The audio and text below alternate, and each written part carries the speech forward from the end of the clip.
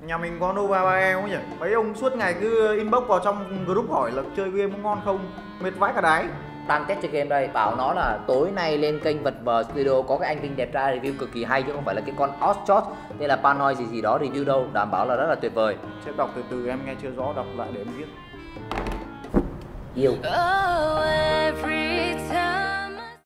Vâng, bây giờ thì mình sẽ nói về cái cấu hình của chiếc máy này Nova 3e thì được bán ra với màn hình là 5,84 inch Sẽ có độ phân giải Full HD Plus và camera kép sẽ là 16 megapixel và chúng ta sẽ có một cái camera trước selfie sẽ là 16 megapixel. Camera này chả liên quan gì đến bài test hiệu năng hôm nay của chúng ta. Một quan trọng là con chip Kirin 659. Nó sẽ có GPU Mali T830 MP2, 4GB RAM và bộ nhớ trong 64GB. Đặc biệt là chạy luôn trên Android 8.0 với cái à, giao diện là MUI 8.0 và dung lượng pin 3000 mAh. Sạc qua USB Type-C tuy nhiên có tích hợp sạc nhanh riêng của Huawei. Hiện tại thì mình đã sử dụng các cái công cụ đo các bạn vẫn quen thuộc như Antutu là khoảng 88.000 điểm với CPU là 41.000 khá là cao, GPU là 13.000. Điểm Geekbench là đơn nhân 936 điểm và đa nhân là 3.735 điểm. Điểm 3D Max sẽ rơi tầm khoảng là 233 đến 248. Bây giờ thì trong điều kiện test của mình vẫn như thường lệ là pin được sạc đầy 100%, máy để chế độ máy bay và sẽ không uh, sử dụng sim, bật wifi, âm lượng 50% và độ sáng màn hình 50%. Bắt đầu với cái câu hỏi của các bạn ở trên video đó là Nova 3e chờ liên quân không? Test với liên quân thì các bạn sẽ thấy là Nova 3e không phải chiếc máy quá mạnh ở GPU nên chúng ta sẽ chỉ test game ở độ họ mặc định không thể bật ở mức cao cấp nhất được. Mọi người sẽ nhìn thấy là game chơi mượt và mát, không hề giật lag gì, đồ họa cũng ok. Chế động nhân vật mượt mà. Combat thì các bạn sẽ nhìn FPS ở góc màn hình có thể thấy duy trì ở mức 30 FPS. Và đây là cái điều mà khi chúng ta có thể xử lý ở phần lớn các thiết bị tầm trung và nó không yêu cầu cấu hình quá cao. Sau một giờ chơi liên quân máy tụt mất 13% còn 87%. Có thể thấy với đồ họa mặc định thì anh em yên tâm chơi game mượt nhưng chứ không thể đòi ở cấu hình cao nhất mà chơi game mượt trên chiếc máy này được. Nhiệt độ cũng mát chỉ tầm khoảng 33 cho đến 35 độ nơi ấm nhất ở phần gần cảm biến vân tay với 38 độ. Bài test sẽ nặng nề hơn với tựa game PUBG Mobile. Đây là tựa game rất khó vì hai lý do như sau. Đòi hỏi cấu hình cao, GPU mạnh mới chơi được và chơi tối ưu hóa cho các loại chip khác ngoài Snapdragon. Note 8 là một ví dụ là một chiếc máy rất cao và xịn của Samsung nhưng chơi còn lác lòi mắt ra luôn. Với PUBG chúng ta thấy điểm yếu con chip Kirin 659 khi GPU không thực sự mạnh với mặc định cài đặt của nó là hình ảnh xuất điện nhiều năng cưa. Máy nóng lên khá nhanh, qua đo bằng nhiệt kế thì nhiệt độ cao nhất ở phần mặt lưng là 44 độ, còn phần cạnh nơi anh em cầm để chơi không quá là cao lắm, cỡ 38 độ. Tất nhiên nhiệt kế này không phải là dùng nhiệt kế ở nhà kẹp vào nách mà dùng một loại đo chuyên dụng. Còn một tiếng chơi game thì máy tụt từ 87 còn 67%. Có lẽ nếu bạn là fan tựa game này đang sử dụng Nova 3 thì nên chơi PUBG Mobile bản TD sẽ ổn định hơn là bản Lightspeed vì bản đó là tối hóa cho rất nhiều điện thoại.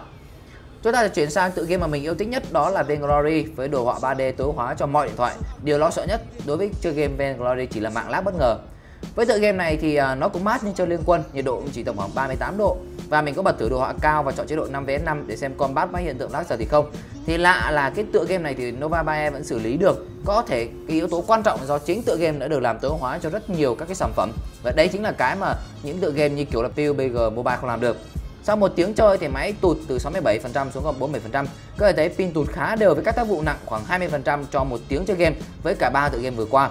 Theo mình Nova 3 e sẽ khó có được thời gian on screen như Nova 2i trước đây do màn hình lớn hơn một chút trong khi dung lượng pin là ít hơn. Quay trở lại với Liên Combo Mobile mình thử bật đồ họa cao như là bật HD, chất lượng hình ảnh cao, chất lượng chi tiết đều cao.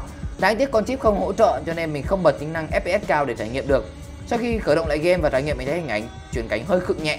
Tuy nhiên vào game thì Nova 3 e vẫn chiến tốt không như ở ngoài giao diện, nó hơi có lag và sau một tiếng chơi game ở chế độ này pin sẽ còn 31% tụt 16% nhiều hơn một chút so với ban đầu test cấu hình ở mặc định. Đó, các bạn nhớ lưu tâm và cũng như là khi bạn chơi combat mà đông người thì lập tức nó sẽ hiện tượng bị khựng. Thế nên tốt nhất chúng ta để ở mặc định mà thôi.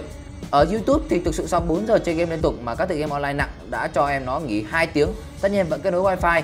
Ban đầu mình nghĩ là pin sẽ tụt khoảng 1 đến 2%. Tuy nhiên bất ngờ là nó không bị tụt phần trăm nào. Cái này ấy là phải cảm ơn anh à, Google. Với Android 8 mới nhất thì nó sẽ hạn chế các tác vụ chạy ngầm để cho chúng ta có thể thời lượng pin kéo dài lâu nhất ở chế độ chờ. Mình bắt đầu thao tác ờ, ờ, nhẹ nhàng như là lướt web, xem video với 31% thế nó được bao lâu thì sau một tiếng xem YouTube pin tụt 20%.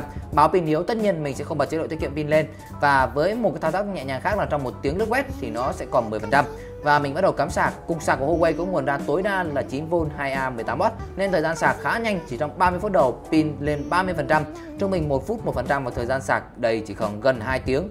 Tất nhiên các bạn nên đừng nên nhìn cái thời gian tổng kết cuối cùng là gần 2 tiếng vì nó sẽ gần tương đương với lại các cái sạc bình thường. Mà quan trọng là những cái cục sạc nhanh này nó sẽ đẩy nhanh ở thời gian đầu để các bạn uh, mang theo nếu các bạn vội quá.